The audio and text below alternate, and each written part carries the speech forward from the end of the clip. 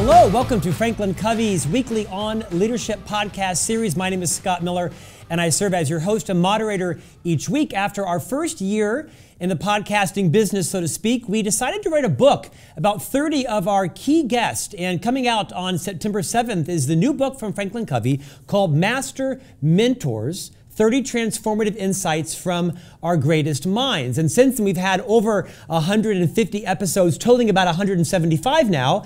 And we believe that HarperCollins will republish a new version of this book every year for as long as they're willing, I'm willing, and Franklin Covey is interested. So we'd love to have you pre-order and pick up a copy of Master Mentors based on 30 of some of our favorite guests from the first year of our podcast. Now today, I'm delighted to have one of Marshall Goldsmith's um, most preeminent um, coaches, Sally Helgesen joining us. Her new book, um, How Women Rise Break the 12 Habits Holding You Back from Your Next Raise, Promotion, or Job, is joining us, the author of numerous books, world renowned thought leader on leadership issues, specifically female leadership issues, and a coach and, and well known advisor around the world. Sally, welcome to On Leadership.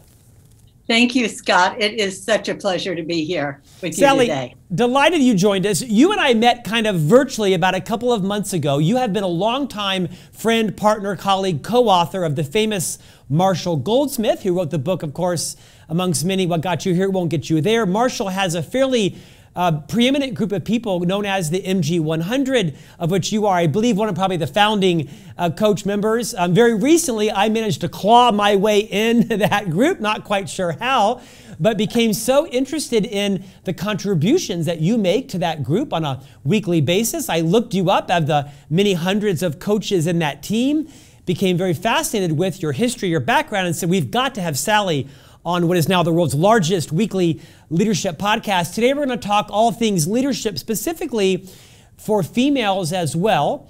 Sally, will you take a few moments and sort of orient yourself to all of our listeners and viewers worldwide on your journey, how you came to write this book, and we'll get into some of the insights. Yes, certainly. Uh, this book, particularly, was inspired by the book of Marshall Goldsmith that you mentioned, What Got You Here Won't Get You There, which is about the habits and behaviors most likely to get in the way of successful people. And I thought Marshall's founding idea was brilliant, which is that the habits that can serve you well early in your career or mid career can become problematic as you seek to move into leadership. That really resonated with me However, I've been working with women leaders and aspiring women leaders around the world for the last 33 years now.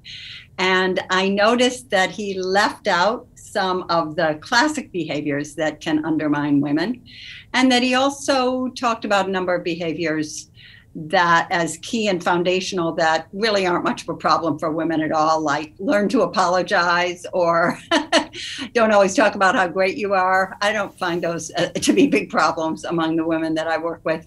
So I suggested we collaborate on this book, and it is in in line with this is the eighth book on leadership that I've written.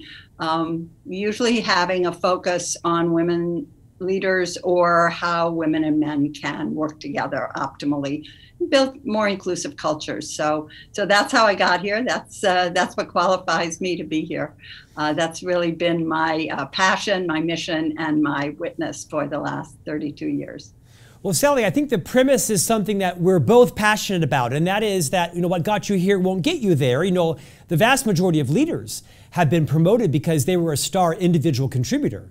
And rarely, in fact, often in inverse correlation, are the skills that make you a great salesperson, do they make you a great sales leader or make you the top digital designer? Now you're promoted to be the leader of digital designers and you don't have those skills. So a lot of what you wrote in this book I actually resonated with as a man, married to a woman, but you don't say that, you know, all these insights are exclusive to women or challenging. But today we're going to focus for the purpose of your expertise and our interested audience on what are some of these challenges that do hold women back? Because whether you are a man or a woman, there are a lot of us that are male leaders that have responsibility for lifting women into leadership positions and making sure that they have you know, feedback on their own blind spots. So I want to kind of episodically jump around today, recognizing that you don't make any declarative statements that this is only a, an issue that only women resolve, right? Or only that men face. You give some latitude that you may or may not find this resonates. But across the, you know, many decades you've been an author and a consultant, you've of course found some trends and um, some challenges. Let's talk first about relationships. I think one of your foundational points is that men and women kind of view relationships differently. And in many cases, women kind of fall short of some of the things that men might do around leveraging them. Riff on that topic for a moment. Certainly, this took me a long time to realize because back when I wrote, I wrote a book, The Female Advantage: Women's Ways of Leadership, in 1990. It was the first book to look at what women had to contribute as leaders rather than how they needed to change and adapt. And what I noted in that book was the strength of the relationships that women built. And I saw that as a great advantage. And it became more of an advantage as organizations begin to recognize that building relationships was not a soft skill as it was considered in 1990, but is indeed a leadership skill. So I wondered why women hadn't benefited more from being skilled at building relationships. And what I came to conclude in the work that I did is that a lot of women, and you know, as you say, not all women, they're, you know, we're not making any blanket statements here, but a lot of the women that I saw working with, they were skilled at building relationships, but they were reluctant to leverage them. That is, they were reluctant to engage the people that they built a relationship with to uh, help them achieve either a tactical, uh, job related, or strategic, career related objective. And when I would ask about it, they would say things like, Well, I want people to know that I really like them or I value them as a friend and I'm not trying to take advantage of them. So they had this sort of either or idea that you were either friends with someone or you had a relationship that had an element of leverage and that that was very transactional and kind of even made you a bad person. So that's what i've been trying to work with and that's what i work with in this behavior in the book building rather than leveraging behavior which can really keep women stuck. And you know when you think about it asking people for help is the best way to engage them and the best signal to send that, hey, I'll be here for you in the future if you need help. So you become allies and resources for one another, which is different than necessarily friendship, but doesn't mean that friendship can't exist in that framework. Sally, you're not a psychiatrist, and nor do you portray yourself as an expert on gender studies or such. Obviously, you're a multi decade expert on leadership, and that's not in dispute. What's been your assessment? Because I'm sure you coach men as well as women across your career. What is your assessment why you think, in this case, men might perhaps be more adept at understanding how to make relationships a win-win, as Dr. Covey would say, well, while perhaps women may see it as sort of a, you know, a, a lose win, or I'm only focused on your win. What do men see in this that maybe women don't? You know, I really think it's a question of experience because when women become focused on leveraging, building and leveraging relationships, they are phenomenal at it. And women have, who have come from a sales background are often very good at it, mm.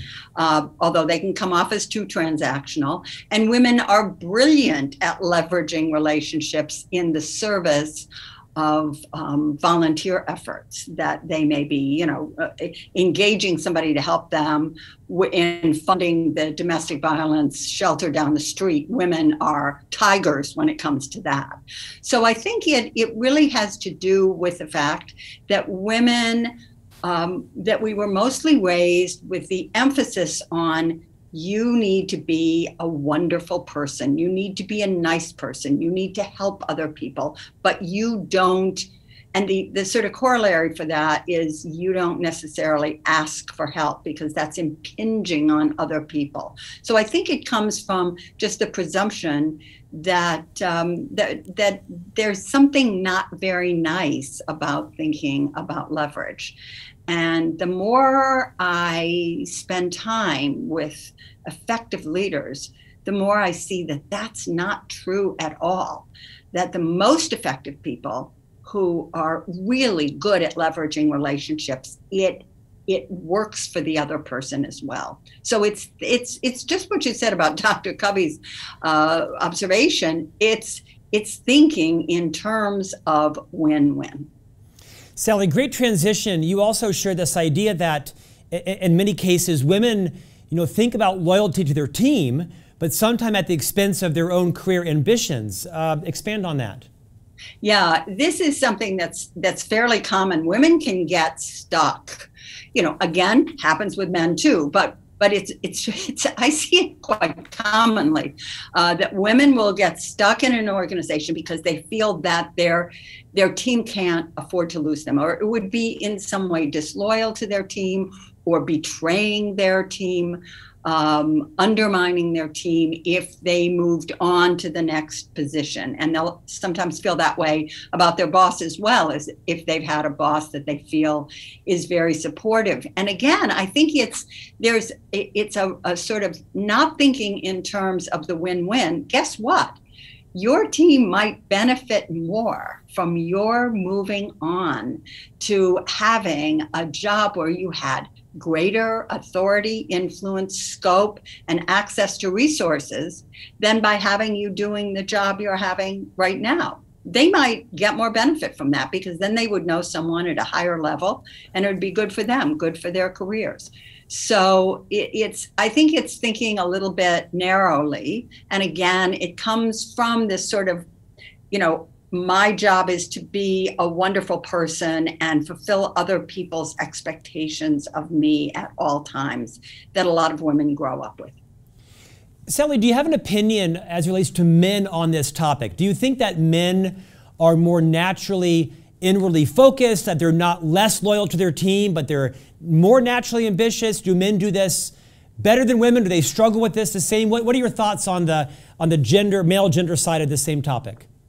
I think men are more comfortable with ambition mm-hmm. and with uh, admitting to ambition and declaring ambition than women are because women may have had feedback oh she's too ambitious. You know we see it in the in uh, you know in political life a woman who runs for a high office oh she's too ambitious. Well guess what? She's running for a high office. She's obviously ambitious. So i think there are a lot of women who are reluctant to identify as ambitious. And that's one of the things i'm really working to change. You know i i um i taught i was in conversation once with a with a psychiatrist i'm certainly not uh, who worked on the upper east side in new york city uh, she very flourishing practice. Practically all her clients were women who were either in high profile investment firms or who were partners at very high profile New York City uh, law firms. And she said one of the things that floored her is that she said about 60, 70% of the women who came in, the first thing they said to her is, I want you to know that I'm not ambitious. Now, you don't get to be a partner in one of New York City's top law firms without being ambitious. That just doesn't happen. You don't just fall into it. It's not just that you worked hard and were a nice person. You have to have that ambition. But that's how reluctant these women who were exceptional were to claim ambition. So I think it's partly that that that women do have ambition. I don't think it's different. Sometimes it comes out later in life, fine. Um, but women do have ambition. It's just that we're that many women are still have inhibitions around admitting it even to themselves. Sally, I don't mean this to be a dangerous question, so you can answer it however you want.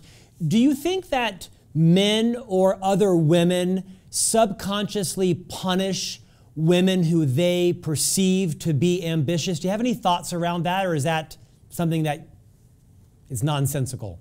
I think that that's true. I think that that can be true. I think that that becomes less true over time. I think it was certainly true when I began doing a lot of this work in the early 90s. The idea, you know, men and women were both scathing, well, she's just so ambitious. And what did they mean when they said this woman was ambitious? What they meant was she will step over, you know, dead bodies in order to achieve her objective. So it was a very, very negative perception. And I think that that impacted a lot of women and it filled them with fear. I don't want to be perceived of as mm-hmm. ambitious. Um, what I'm trying to do and trying to model and also trying to uh, in the workshops I do and with the clients I work with, get women comfortable with the idea you can be ambitious and be a wonderful person. It depends on what you're ambitious for.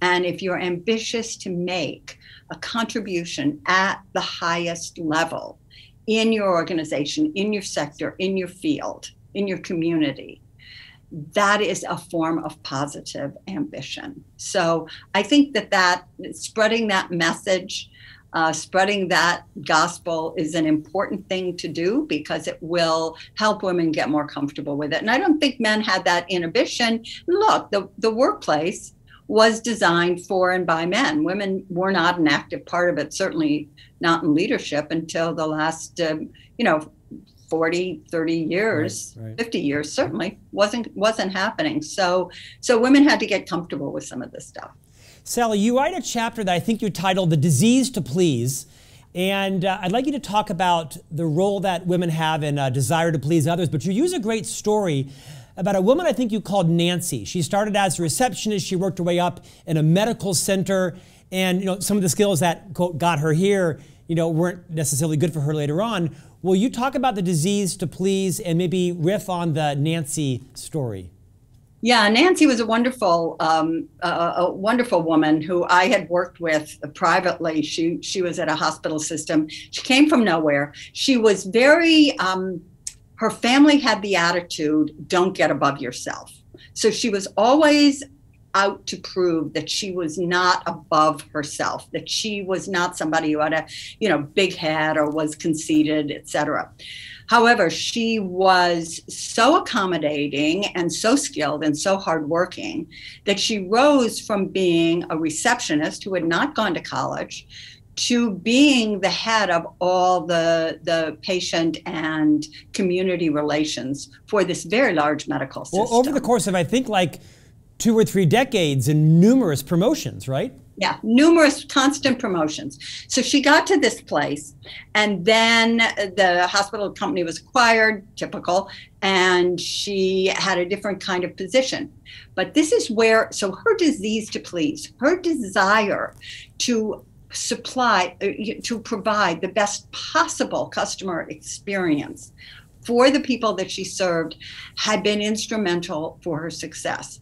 But when she got to the next level, at a real leadership level, she was not in this customer facing, patient facing role anymore. Someone else was. And yet, people, the, the patients, their families, they wanted to deal with Nancy because she was a wonderful person. So she kept getting pulled over to do part of that part of her old job all the time. And th- she felt like she couldn't say no. They depend on me they need me etc so she was very invested in that wonderful person thing.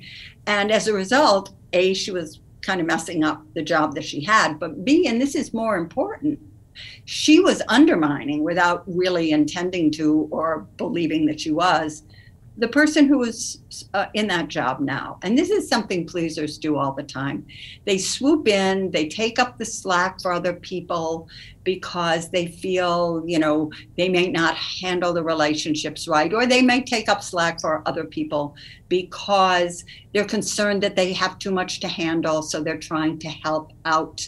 Um, they have a very tough time holding people to account for what um, for what they said that they would do.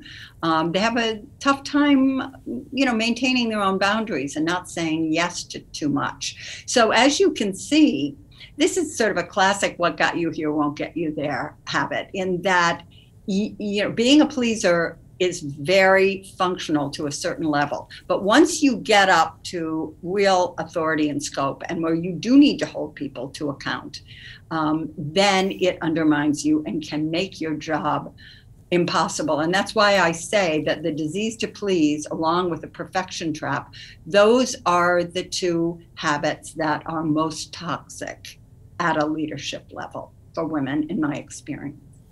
Sally, I think one of the insights that I took away, and I, I, I could relate to a lot of these challenges. I don't, you know, again, I think this book could be how men rise. I mean, quite frankly, but I, I think one of the insights I took away from the Nancy story is that for those of us who have a disease to please, right? And I have some of that in me, and I yeah. think there's a lot of our leaders in our company at Franklin Covey that have the same, male and female. I can see a lot of people's careers in the Nancy story because what happens is as you kind of move up, you fill your wheelbarrow full of all of these commitments and obligations and you have kind of all this baggage, positive baggage, you know, on your cart. And at some point you've you've you've you've built a brand that your contribution is to please so many people and it can undermine your credibility and your ability to focus and do your current job because you've collected so much baggage along the way. Any advice you would give to people, male or female, that find that they've moved up in an organization and their, their, their, their, their baggage cart is so full of all this baggage, not bad baggage, perhaps good baggage, that they find it's undermining their ability to do their current job? Yes, there are a couple of things. It's very helpful to, for example, get comfortable saying no to things or delegating responsibility without over explaining it, without apologizing for it, because that sort of demonstrates that you feel bad or it's somehow illegitimate that you're not taking on some extra work. So get in the habit of learning how to say, that's not something that I can take on right now, or that doesn't fit with the parameters of the job that I have. And just saying it, not loading it up with a lot of explanation, because as you hear, as you hear yourself saying that, you'll become more comfortable. That's what I find. You become more comfortable um, saying that. The other thing is really look carefully at how you support people coming up and and try to recognize you don't help them by swooping in and giving them support rather than enabling them to find and build their own strengths and have their own experiences and build their own relationships even if they supplant the ones that you built. And and i think because pleasers are people who are good people inherently good people with good values that this is very helpful to them. That's what happened with nancy. She recognized that the young woman who had taken her place her successor was having no luck in her job at all because nancy was rushing in and, and getting in the way of her, her building her opportunity to build the, uh, the patient relationship. So really think about, you know, this is something for parents too. You know, how much is my trying to solve this problem for my child or for my employee? How much is that going to hinder them from the strength and self belief that will come to them when they find a solution themselves? Sally, I see so many corollaries between your work and that of Liz Wiseman, a friend of ours and a colleague at Franklin Covey. Liz calls that a rescuer, right, or a protector. One of the nine accidental diminishing tendencies is that you're accidentally rescuing someone or rushing in and not allowing them to grow.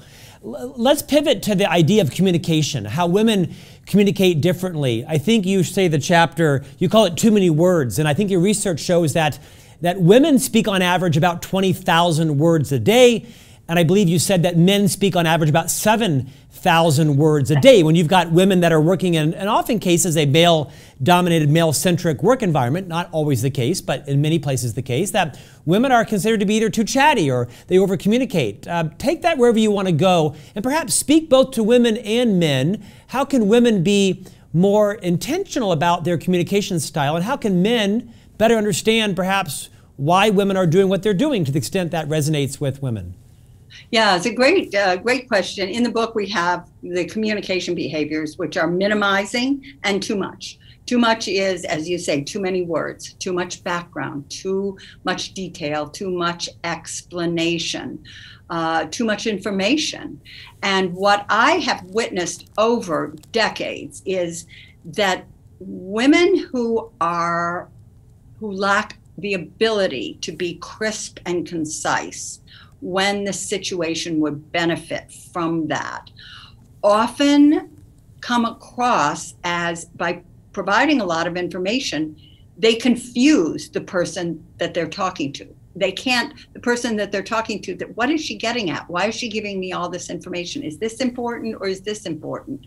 And that's one of the reasons that um, that women often you know have trouble attracting the the cons- consent or you know affirmation of senior male leaders who may exemplify a very crisp, concise uh, communication style. And I've worked in companies where I've seen that over and over and over. Where a woman will come in, she'll make a presentation, say, "Let me tell you how I got to this idea. Let me give you some background first. By the time she leaves, guy's going like, I, I don't know what she was talking about. Can anybody translate that for me? You don't want to be in that situation, and that situation is the result of this sort of amplification of um, of uh, conciseness and crispness in communication that happens when you have built a very strong male culture. Um, you know, how how do I do this? Go over that way. Do this. Try that. That that sort of low information um, exchanges that uh, that exist in in certain cultures because they've been very very heavily male dominated for a long time and so it's it's a question I, I, think for women and I've, I've talked to women who've said what made my career was that i learned to be extremely concise and clear in my communication and i therefore um, coach other women in being more concise and more clear because there's a big benefit to that in this organization. So I think that for women, an awareness, and it's just preparation. Being concise and clear when you go into meeting is just preparation.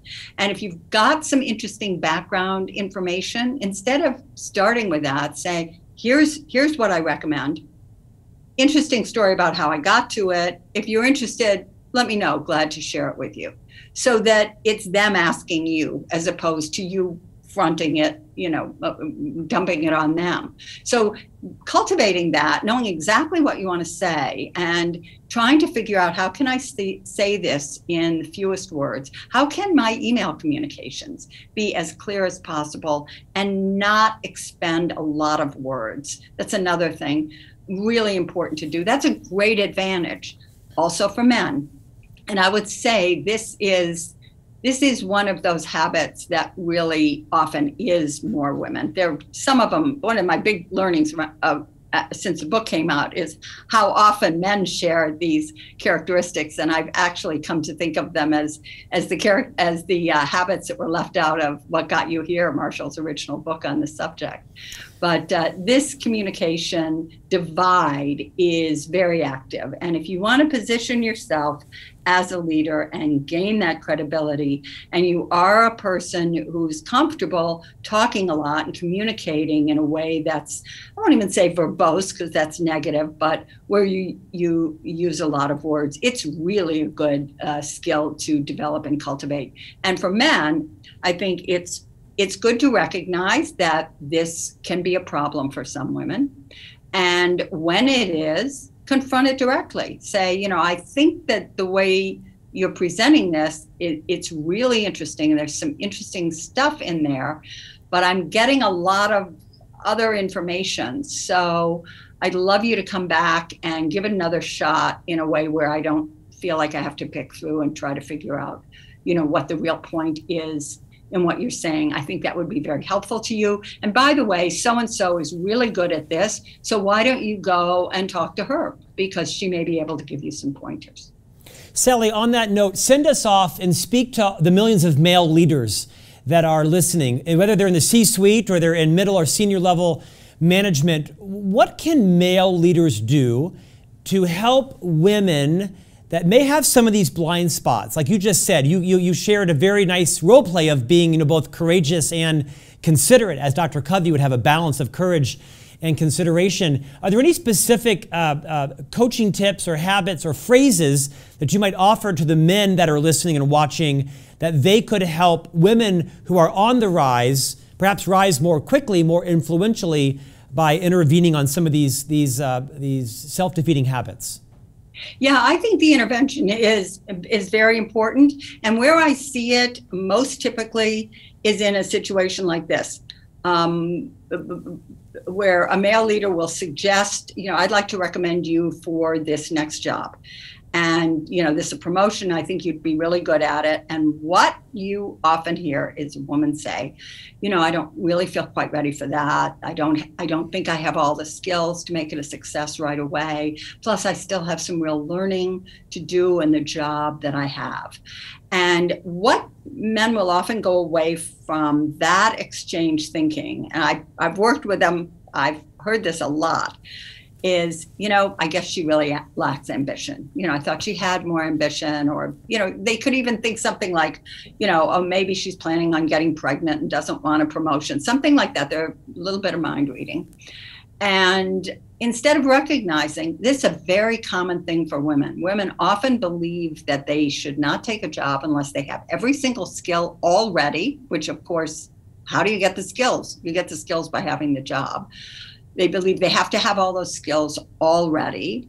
They may have loyalty issues to their team and their boss that are holding them back.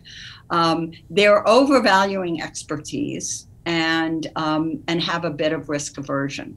So being able to recognize this as a common pattern and then pushing back on it and saying, you know, I hear you and I understand that. You need to know nobody's going to expect you to have 100% of the skills that this job takes the day you take it.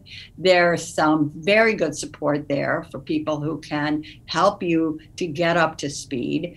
We really see you as being a potential leader here.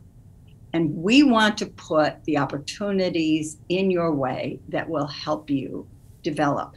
So even if you feel that reluctance, I want you to consider this. And I want you to talk to a couple other people who could be helpful in as you think it through.